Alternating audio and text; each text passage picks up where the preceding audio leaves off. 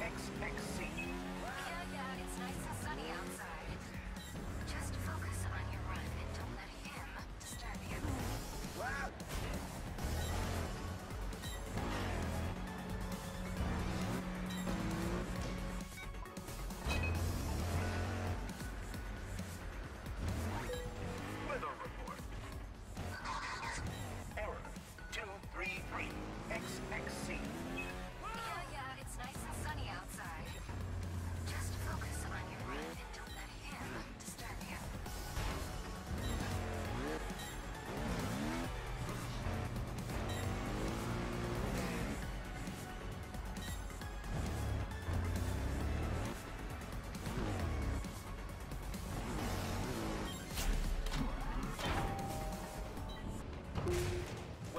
The Samsara Laboratories, home to freezing winds and a variety of mutated mammals.